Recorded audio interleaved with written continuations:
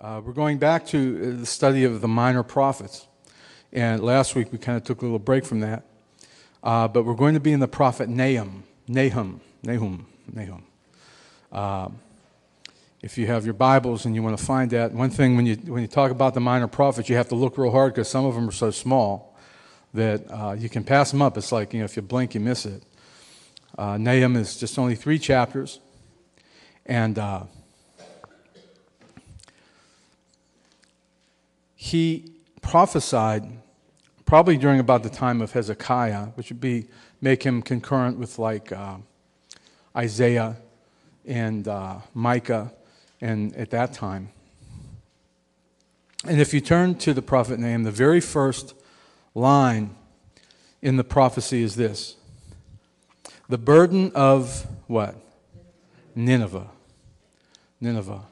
How many people remember Nineveh? Now, who can tell me who, who the last prophet was that talked about Nineveh? Hmm? Was it? Jonah. Remember Jonah? Okay. Remember Jonah. Jonah, remember, he was the hateful prophet. He was the one that hated the Ninevites. He didn't want to see God deliver him. God told Jonah to go to Nineveh and preach to them. And Jonah said, You know, if I go there and preach to them, they might believe and have a revival and get saved. I don't want that to happen. So he got in a boat and started going the other direction. He didn't want to see the Ninevites saved. He prophesied against them, as a matter of fact. He said, Well, you know, I can't do that. And we all know what happened that God, you know, prepared a great fish and uh, a storm, and Jonah ended up going to Nineveh, and he preached, he prophesied to them, and sure enough, they heard the word. They believed the, the uh, leader of Nineveh, the king, that was the capital of the nation of Assyria. If you look at the map today, in the very, it would be in like the northern part of Iraq. Uh, the king of uh, Nineveh said, Repent, sackcloth and ashes. They call a three day fast. I mean, even the animals fasted. They said, We're all fast. We're all taking part in this. And they, had a, they repented and they had a revival. God was going to destroy the city. And they repented, and God said, I'm going to stay my hand. And Jonah, we know when we read his prophecy, he was so upset because he, he said, I knew you were going to do this. If you read Jonah, we read it before. He said, Lord, he said, God, I knew you were going to do this. That's why I didn't want to come. And God basically said, Jonah, I'm going to have mercy on who I have mercy, and I'm going to save who I'll save. And uh, basically, it was a lesson, and we, we talked about that lesson. You know, we can't decide who gets saved and who doesn't. We just got to be obedient to the Lord. God might send you to somebody that you don't like. And he might send you to some, matter of fact, he might send you to somebody that you hate. Not that anybody here hates anybody. I hope not. He might send you to, to somebody. He sent Paul to the Gentiles. And when Paul was a Pharisee, he hated the Gentiles. He didn't have nothing to do with them. They were unclean. He wouldn't go into a Gentile's house. He wouldn't, if he brushed up against them, he'd have to go and wash and bathe. I mean, he, that's, that's just the way they were, you know. But that's who God sent to the Gentiles. He sent Paul. He might send you to somebody that you don't even like. And if he does, don't resist because if, he, if you do, he'll put you in a big fish and help you go there anyhow. But anyway, Nahum uh, was about 100 to 150 years after Jonah. Okay? And Nahum's message was a little different. In fact, when Nahum brought this message about the burden of Nineveh, he didn't really bring it to Nineveh, but he brought it to the people of Israel. He brought it to, the, to, to, the, uh, to Jerusalem, to the nation of Judah. Because by this time, the revival that the Ninevites experienced had worn off. How many people know that revivals wear off? You know, you know, we hear about revivals and we'll say, oh, there was a, a great revival in Wales and there was a great revival in, you know, the Great Awakening in America and great, you know, throughout history there have been great revivals. In the Old Testament, uh, the last good king of Jerusalem was a, a king named Josiah. Josiah. I think Chuck's grandson is named after him, Dan, Danny Ecker's son, Josiah. Josiah was the last good king of Israel. And when he came into power, of Jerusalem, and when he came into power, you know, the, the place was in shambles because of all the idolatry and things that had taken place. So he like got everything straightened out, man. He, he cleaned the temple up. He tore down all the idolatrous uh, statues and the idols that they had worshiped. And he just did everything to get things right. He repaired the, the, uh, the, the, the, temple of uh, Yahweh, of Jehovah. He uh, reinstated the Passover. They had, a, they, had a, they had let that go uh, aside. And he reinstated the Passover. And he did all these things. And man, uh, you know, Jerusalem was on fire for the Lord again. It was a great revival. And people were just worshiping God. And Josiah died. And when Josiah died, it didn't take him long to go right down again. See, it was, it was kind of like a superficial revival. It was just a revival, you know, because they had a guy who, who was in charge. But once he died, it lets me know that sometimes when there's a revival and people get all like fired up, most of it is just on the outside, it's just on the surface. There are those who get saved, there are those who genuinely get filled with the Holy Spirit and, and God does a great thing. But most folks that get caught up in revival, it's just kind of like on the surface. How many know what I'm talking about? We've had them in the last 20, 30, 40, 50 years. Revivals that really started out as a move of God, I believe, but ended up becoming, becoming a thing. Anyway, that's not what this message is about tonight, but it's about 100 or 150 years after Jonah that, that Nahum prophesied. And, and, and the good things that happened from the preaching of Jonah had, over 100 years, had waned, had dried up, had flown, flown away. So now God is speaking the burden of Nineveh, the book of the vision of Nahum the Elkoshite. He starts by saying, God is jealous. You know, God is a jealous God. Now, when we think of that term jealousy, that, that kind of evokes a negative thing in our mind jealous. You shouldn't be jealous. But I want to be, I want God to be jealous for me. I'm jealous for my wife, and I want her to be jealous for me. You know, I don't want nobody. I mean, she's my. I, am not sharing her with anybody, and I don't think she wants to share me with anybody. I hope not. I know. I know she doesn't. We're jealous for each other. That's a good jealousy. That's a good thing. Don't mess with my you know. And some of you men feel the same way. You know, don't you know? Don't come. I mean, if you were somewhere and somebody come up and talk, start talking to your wife, you'd step up and say, "Excuse me." you know, that's my wife. That's the way God feels. God's jealous. He wants us for himself. He doesn't want to share time with other idols or other gods or other things. He wants us. He's jealous. And I found out personally, when I start flirting with the things of the world, God finds a way to get my attention. He seems to find a way to get me back in line with where He wants me to be. You know, God is jealous, and the Lord revenges. The Lord revenges and is furious. God furious, but He's love, isn't He? I've said this so many times before. We mistake when we hear the word love. We, we really don't fully understand it. I think the best way to understand it is to look at yourself. If you love somebody, there's some things that make you mad. There's some things that make you mad. When you see your kids doing stuff that you know they shouldn't be doing and you've told them not to do it and they're not listening, doesn't that make you furious? Makes you feel like you want to throw a brick at them. You know, you love them, you don't want to hurt them, but you want to, you know, you want to grab them and shake them and say, hey. God is furious. The Lord will take vengeance on his adversaries and he reserves wrath for his enemies. I mean, this is the God that we worship. This is the God that we serve. He's a God of love. He so loved the world, he gave his only begotten Son. But he is angry. It says in Psalm 5, I believe, he hates the workers of iniquity. He loved us. When I was a worker of iniquity, he hated me as to what I was, but he offered me a, an opportunity for salvation through faith in his Son. That's how he expresses love to me. But in our sin, it's a whole different story. Now, listen to what he said. We're going to read a little bit tonight and just uh, touch on a few things. It says in verse 3 The Lord is slow to anger and great in power and will not at all acquit the wicked. He's slow to anger. 150 years ago, he told the Ninevites, got them saved, and it's been 150 years. He's been dealing with the nation of Israel now for thousands of years. How long did he deal with you? I thank God he's slow to anger. I, I wonder, I wonder when, he's, when his, his, his mercy toward the United States is going to end. I wonder when his, I wonder when his judgment is going to be poured out. See, the things we're seeing today, you know, just recently, I don't know if some of you saw those pictures of those, those trailers flying around in that tornado. Wind and rain, there's not a whole, wind and water, there's not a whole lot you can do to stop them. But we haven't seen his judgment yet. That's a picture. Maybe that's just a glimpse. Maybe that's just a taste. Maybe, but it's not, you know, when God sends his judgment, all that stuff is, that stuff is just like localized and, and temporary.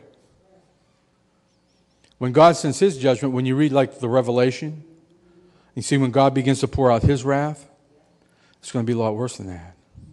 I thank God he's long suffering. I thank God he let me go for 29 years before I got saved without snuffing me out. He could have. He would have, he would have been justified in doing so. The things I had said and done. But he was merciful. He's mercy. He's a long suffering God. He's slow to anger, but that doesn't mean he, he ain't going to get angry. He's great in power. He will not acquit the wicked. Listen, everybody, this is a saying, it's, it's not necessarily in the, in the Bible like this, but this is what it says here. Everybody gets theirs. You know that? Everybody gets theirs. Nobody gets away with anything. Nobody. Now, you know, those of us who put our faith and trust in Jesus Christ, our judgment was placed on Christ at the cross, Calvary. That was, you know, through faith in his blood, our sins are forgiven. But we really didn't get away with anything because many of us are bearing some of the consequences of stuff we done. Let's face it. In fact, just the fact that we get old is a consequence of sin.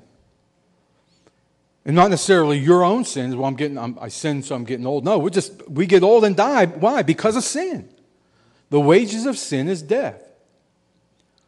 We're saved by faith in the blood of Jesus Christ, but yet we still, unless, if the Lord tarries and he doesn't come back, we're all going to be buried someday. We're all going to face that. You know, I was thinking we were blessed. God was merciful to us with, you know, we, the test came back negative on Rose, and we're thankful for that. But you know what? If it would have come back bad, God's still God. If we would have to face that whole thing again, God's still God. He's still God. Okay? The rain falls on the just and the unjust. The wages of sin is death. We live in a fallen creation. Now, listen to what he says. This goes on, and this describes God's character. This is the God that we serve. Just reading a little bit. He rebukes the sea and makes it dry, and dries up all the rivers. Bashan languishes, and uh, Carmel and the flower of Lebanon languishes. The mountains quake at him, and the hills melt, and the earth is burned at his presence, the world and all that dwell therein. Who can stand before his indignation? Man, I, have you ever, I, I've, I've, I always use this as an illustration for those of you that grew up in Arnold, okay? I had a principal named Mr. Tanis. if you heard on the, on the loudspeaker system your name and come, in, come to the principal's office immediately, man, that was like the last mile. That was you did not want to stand in front of the indignation of Mr. Tans. Okay? Now, that was just a guy. I don't want to stand in front of God's. I don't want, I don't want to, I don't want to be at that great white throne. I don't want to stand there. I don't want to face that. Because when God gets angry, this is his character. The earth is burned at his presence, the world and all that dwell therein. Who can stand before his indignation? And who can abide the fierceness of his anger? This is the God we serve. Yes, it is. His fury is poured out like fire, and the rocks are thrown down by him. The Lord is good, a stronghold in the day of trouble, and he knows them that trust in him. But with an overrunning flood, he will make an utter end of the place thereof, and darkness shall pursue his enemies. You better make sure you're on the right side you better make sure you're on God's side. You better make sure that your faith is in Him. I was talking today to, who was I talking to? Pastor Harold. Harold and I went out and had a little coffee. We're talking about everything that's passing for religious performance. There are, there are churches that are teaching people to be good without the cross. There's places in religion that are teaching people to be good citizens, good people, without the cross. If it's not for the blood of Jesus Christ, I don't care how good you are.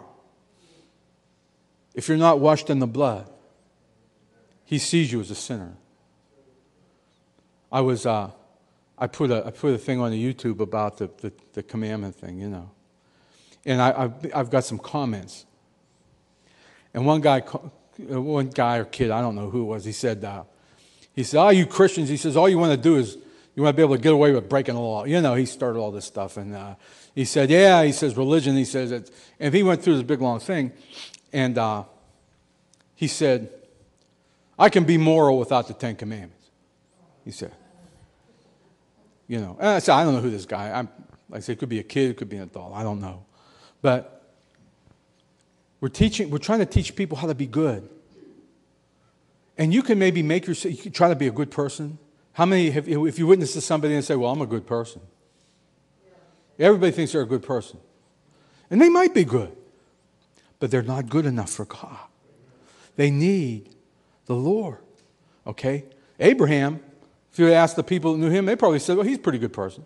Pretty good guy. If, if you would have asked his neighbors in Ur of the Chaldees before, you know, they would say, what do you think of old Abram over there? He'd say, he's all right. You know, he's okay. But when he met up with God, he found out he was nothing. He had to believe God, and that was counted to him for righteousness. And, and we're in the same place. What do you imagine against the Lord? He says in verse 9. He will make an utter end. Affliction shall not rise up the second time. When God does it, it's going to be done. He's talking about Nineveh. Something about the history of Nineveh, and, and without going into any great depths, if you read about Nineveh, the very beginning of the city goes back to about the same time as Babylon. in fact, uh, if, if you read that, that part when it talks about Nimrod back in Genesis, the chapter 11, uh, maybe I have the wrong chapter, but it talks about Nimrod. He started Babylon, and it seems like he planted some other cities in that area also, or at least his offspring did. So it was an ancient city, and it became one of the most powerful cities. It actually was before Babylon rose to world power. Nineveh was like, they were like the guys, they were like the main thing. And as I said this before, when they would go conquer a country, they were mean, they were cruel. Nobody wanted to be conquered by the Ninevites, by the Assyrians, because they were mean. They were wicked, they were evil. They served other gods. In fact, we can read in, in, in, the Old Testament again, there was a king named Ahaz who, who met up with, with a, an Assyrian king and he saw the, the temple of his God and he said, Man, I'd like to have one of them. And they built one like it just back in Jerusalem, you know. They worshiped other gods. It was. They were a mighty city. But they were buried. They were buried. The, the, remains of Nineveh weren't discovered until like the 1800s. In fact, a lot of people, a lot of detractors said oh, the Bible isn't true because there was no place such as Nineveh. And the kings that are mentioned there from Nineveh, they said they didn't exist. But then they found the city of Nineveh, and they found writings and uh, you know uh, rocks and, and stones with writings on them. They had the names of these kings that are in the Bible. He says, just reading a little bit here. He says, For while they be fold, folded together as thorns, and while they are drunken as drunkards, they shall be devoured as stubble, fully dry. What Nahum is prophesying is the destruction of the city of Nineveh. Now, here's, here's what history tells us the city of Nineveh, several years after Nahum and the Assyrian kingdom, they were besieged by the army from Babylon. It actually was a combination of the Babylonians and the Medes and the Persians. They came together. This was when Nebuchadnezzar was just in his ascendancy, okay? And, and they, they surrounded the city of Nineveh. And what happened was there was a great flood. Uh, it was along the Tigris River, and there was a great flood. There was a lot of rains, and, and, and part of the flood, uh, this great flood washed away part of the wall that was around Nineveh. And the enemy could just come right in after the wall was destroyed. And they came in and they destroyed the place, conquered it and destroyed it. And that's what happened. This was prophesied by Nahum. He prophesied something else. Look at verse 12. Um, I'm sorry, uh, verse 11. Look at verse 11. There is one come out of thee that imagines evil against the Lord, a wicked counselor. Thus says the Lord, though they be quiet, and likewise many, yet thus shall they be cut down. When he shall pass through, though I have afflicted thee, I will afflict thee no more. For now will I break his yoke from off thee, and will burst thy bonds asunder. Now, if you really want to understand, and we could read the rest of that chapter, but if you want to understand what that's about, you have to go to the book of Second Kings, around chapters 18 and 19. And this was a prophecy that was given maybe 50 years before that happened. But in that time, there was a king named Hezekiah. How many have heard of the king Hezekiah? He was one of the good kings of Jerusalem. He was one of the great kings. And there's a story there that says when, when Hezekiah was, you know, the king, that the Assyrian army came against Jerusalem. This is when they were at their height, the Assyrians, Nineveh. They came against Jerusalem. There was a king there named Sennacherib, who was the king of Assyria at that time. Again, they found his name written, so this is you know, attested to historically. And, and he, sent, he sent a fellow named uh, Rabshakeh, and I forget the other, there was a couple guys he sent with an army to Jerusalem. And what, what they would do, they would stand outside the wall of Jerusalem and they would yell in there, Hey, you think your God's going to deliver you? Just like the devil will stand and scream at you and say, Oh, yeah, you think your God's going to heal you? You think your God's going to provide? And, and what they would do, they would stand outside the wall and scream and say, You might as well just give up because we're going to, we're going to surround you. We're going to besiege you. You're going to run out of food. You're going to run out of water. You're going to starve to death. You might as well just surrender now, and we'll take you. We'll, we'll take you somewhere else and get you established somewhere else. That's what this guy was yelling. And the, and the people, the leaders of, of Jerusalem, would stand on the wall and say, "Hey, listen, don't talk in Hebrew. like you know, speak to us in another language so the people can't hear it." But they were. It was like a morale thing. They wanted to. They wanted to break their spirit by telling them lies. And if you would look at the circumstances, the Syrians, they conquered everybody they came in contact with. They were powerful. So old Hezekiah, if you read the story, and I'll just paraphrase it, but you can read it when you get a chance. He sent for Isaiah the prophet. He said, What are we going to do? I said, Don't worry about it. They're going to be gone here in a little bit. And, and they heard uh, the, the general there that had all those uh, soldiers, he heard that there was a battle going on somewhere else, so he left. And he sent a letter to Hezekiah. He said, Hezekiah, listen, all these other people and their, their gods couldn't save them. You think your God's going to save you? He said, You know what? I'll give you horses if you want. Go ahead. I'll see if you can see if you can defeat us. And he wrote this letter. He said, This is what we're going to do to you, and blah, blah, blah. So Hezekiah, you know the story. He took that letter and he took it to the temple and he laid it out. And he said, God, you see what he's, what he's saying here? God, you see what, you see what he's saying? Isaiah said, the prophet Isaiah sent word. And he said, Don't worry. That night, the Lord smote 185,000 Assyrians. The hallelujah. Give the Lord a hand clap. That's all right. He smote, 100, he smote 185,000 Assyrians. They, they never had to shoot an arrow. And that was like the beginning. If it wasn't long after that that Nineveh got buried, that the Assyrian Empire was broken. Okay? Now, reading just a little bit, and just chapter 2. This is just some historical stuff here. He says,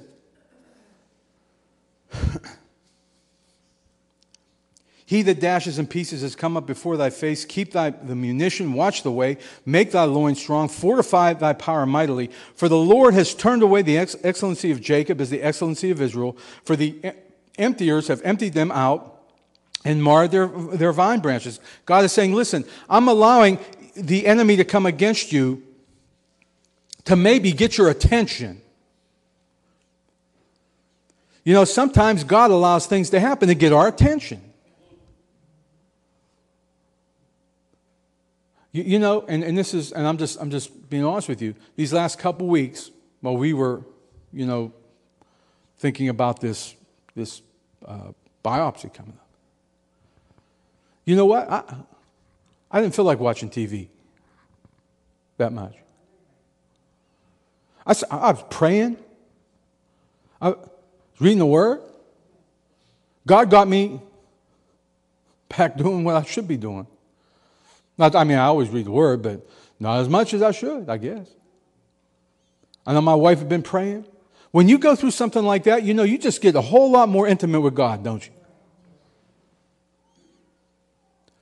When, when, the, when the trouble comes, and when the, the threats come, and when, when you have that, you know what it's like to have that cloud over you.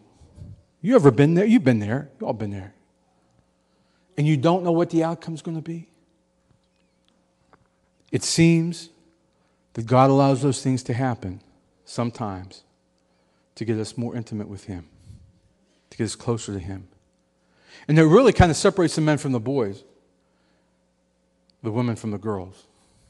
It separates those who really believe to those who are just in it because they like the music. It really, it really, it's, it's, it's, it's uh, it says that God's word is quick and powerful and sharper than any two edged sword, dividing the bone from the marrow, discerning the thoughts of the heart. Okay? Just reading on a little bit. Just drop down, and I'm not going to keep you much longer tonight, but look at just. Just look at uh, chapter 3. And, and you can read this all to yourself. I mean, uh, for yourself, please, I encourage you to do it. but listen to this Woe to the bloody city! It is all full of lies and robbery. The prey departs not. This is Assyria, this is Nineveh. The noise of a whip and the noise of the rattling of the wheels and of the prancing horses and of the jumping chariots. The horseman lifts up both the bright sword and the glittering spear, and there is a multitude of slain and a great number of carcasses, and there is none end of their corpses. They stumble upon their corpses. I read this stuff, and it almost feels like I'm reading something in the Tribune Review. the great city of Nineveh, the powerful nation of Assyria, that thought they could never be defeated. The corpses are everywhere, the dead are everywhere. Shooting, you know, we hear it every day. It's almost like if a day that we don't hear about a shooting, it's like, and it's like it everywhere. Any, any major, any city you go to, you turn on TV, you know, if you travel, you turn on TV, turn on the news, it's the same everywhere. In such and such section of town, somebody shot somebody. Said this. Just let's read this a little bit. Because of the multitude of the whoredoms of the well favored harlot. And when I read this chapter, I said, wow. If God did this to Nineveh, they had a revival. They had an outpouring of God's Spirit. They got saved 150 years before this. Because of the multitude of the whoredoms of the well favored harlot, the mistress of witchcrafts that sells nations through her whoredoms and families through her witchcraft. My goodness. We have a world market.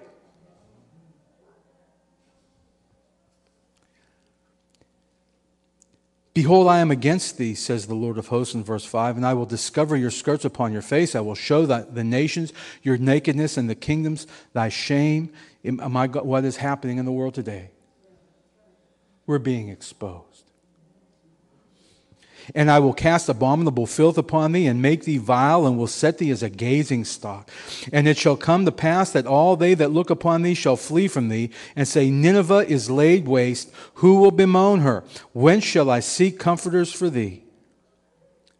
Are you better than populous No, that was situate among the rivers, that had the waters round about, uh, whose rampart was the sea, and her wall was from the sea? Ethiopia and Egypt were her strength, and it was infinite. Uh, Put and Lubim were thy helpers. Yet was she carried away. She went into captivity. Her young children also were dashed. I mean, listen, God's judgment is it's, heading, it's, it's coming to every place that is wicked.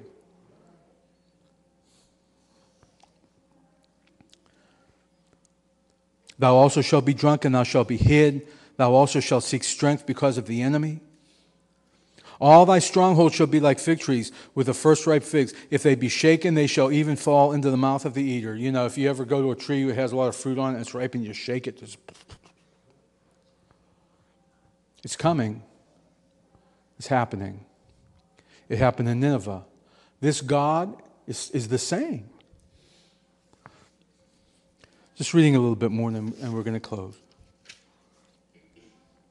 There shall the fire devour thee. And this, this prophecy, by the way, came true to Nineveh. This was about 50 years before its destruction, and it, and it eventually came true. There shall, in verse 15, there shall fire devour thee, the sword shall cut thee off, it shall eat thee up like a cankerworm. Make thyself many as a cankerworm, make thyself to be as locust. You've multiplied your merchants above the stars of heaven. The cankerworm spoils and flies away. Thy crown are as the locust, and thy captains as the great grasshoppers which camp in the hedges in the cold day. But when the sun arises, they flee away, and their place is not known where they are. And look at this, verse 18. Your shepherds slumber, the shepherds are asleep.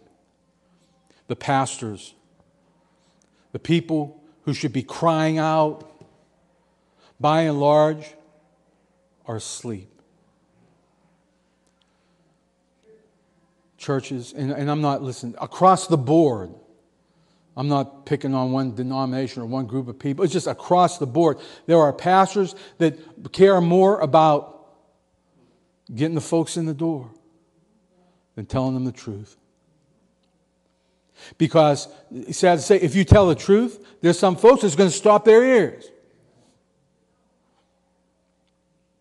And they're going to go to the place that has the bigger party. The pastor, listen, I've said this before, and I went into I'm not going to get into it, but you know, with this with this Ten Commandment thing, they could smash that thing with a wrecking ball. And don't get me wrong, I want to see it there. I'm not I'm not against it. But for all the good that's done at Valley High School, how many of them kids walk in the valley look at that and say, Well, yeah, Ten Commandments. We got to do that. They don't even know it's there. They don't care. I'm glad it's there. Don't misunderstand me. I'm not, I'm not being like that, but if it's not in the hearts of people, it really doesn't matter. And, and I really believe this with all my heart. Not all. There's, there's great pastors, there's great churches, there's, there's great men of God on, in media that are preaching the truth and tell the truth and, and preach the word like it's supposed to be.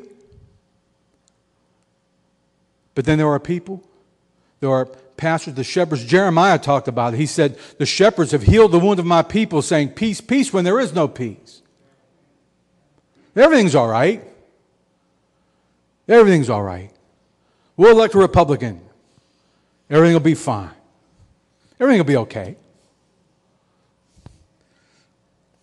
No. He says, Your shepherds slumber, O king of Assyria. The nobles dwell in the dust. Your people is scattered upon the mountains, and no man gathers them. There is no healing of thy bruise. The wound is grievous. All that hear the brood of thee shall clap their hands over thee. And it ends there with that verse. Nahum does not contain any prophecies that go to the end time that we, you know, some of the prophets we say look beyond the time we're living in now. But he presents to us the character of a holy God who will not, he's long suffering, but he won't tolerate sin forever. It's true for individuals. He'll put up with my nonsense, and he has. Thank God. Thank God for his long suffering. And some of you didn't get saved when you was five years old.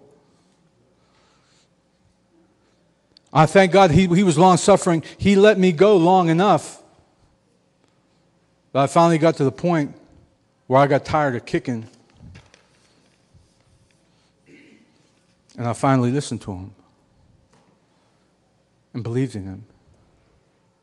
He's been merciful to our nation